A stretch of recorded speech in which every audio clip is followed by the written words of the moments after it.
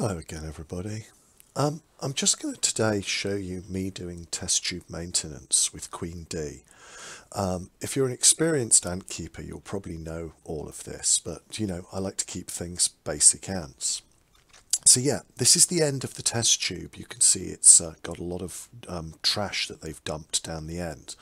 Um, so the first thing I do is put a piece of white paper underneath so it contrasts the ants better against a background. I can keep an eye on, like that one, whether or not there are any ants coming down.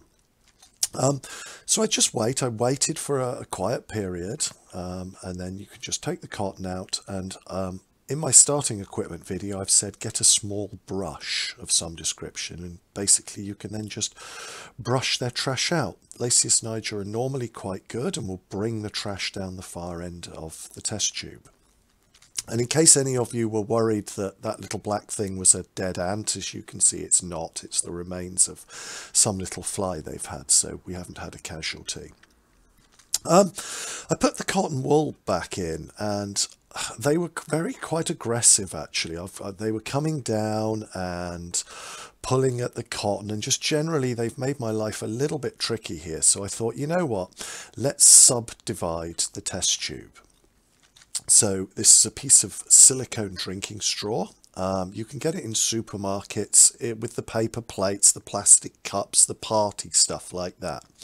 Wrapped with a piece of cotton, and you saw that I put the tweezers in the middle of the straw and the outside of the cotton, so I'm holding the straw open. And you can see the problem I had here, look, that all the ants are coming down, and this is why I want to subdivide the tube, so that I can try and stop this a lot, and you can get them to retreat to the inner, the inner area so that you can do maintenance on the tube.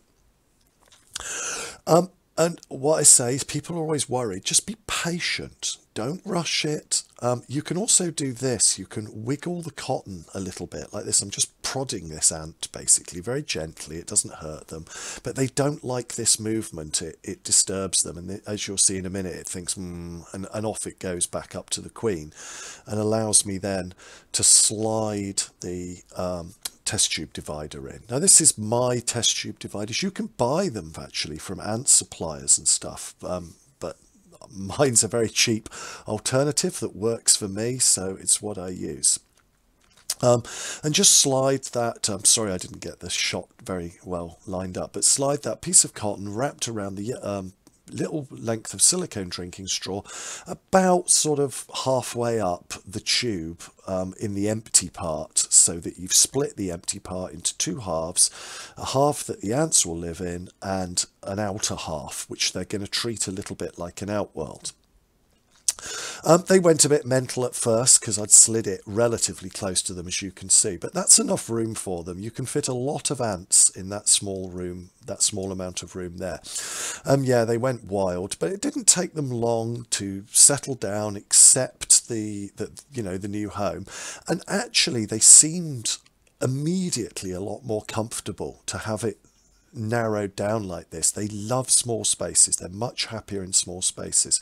And as you can see, they were into the tube fairly quickly and got used to it fairly quickly and were going in and out after only well a few seconds basically they were they were quite happy with the tube and like seemed to like it you know they what you will find is that there's always ants that hang around on the end of the tube just there like sort of guards that guard just inside the nest so anyway, once the tube was in, I popped in a little bit of maple syrup um, so that, um, well, it wasn't actually, no, it was the agave syrup again. So yeah, I popped that in um, and it's so much easier now. Look, they're not coming down. They're not sort of threatening the cotton at the end. They're all inside the inner area and it makes feeding into this outer area so much easier. And this is why I advise subdividing your tubes when you're managing colonies in a test tube. And as you can see, it doesn't, you know, they come out, they come out to forage. It's also much more fun to actually watch them in this situation because you can watch the difference between the, the ones that come out to forage and the ones that stay in the nest and how they'll shuttle mouthfuls of sugar backwards and forwards. And, and you do get to see like different behaviors from your ants when you have the test tube divided like this. And it makes it a lot more interesting watching them when they're in a test tube setting. Um, so yeah, this is Queen D. This is her progress at the moment. Um, she's got a lot of um, pupa in there. There's about seven or eight pupa, and a lot of larvae, um, which are all well fed up. She's um, she's had some various little flies and protein. Um, they've had a lot of honey. But what worries me is uh, she hasn't, I, I don't think she's laid any eggs yet. So I'm a little bit concerned. Um, and a lot of you right now, I'm seeing videos and photographs that people are sending me and showing me. A lot of you have come through hibernation with multiple Lasius niger colonies and you're making your mind up which one you should keep going forward. Um, uh, what I'd say to you is don't don't judge it purely on the number of workers.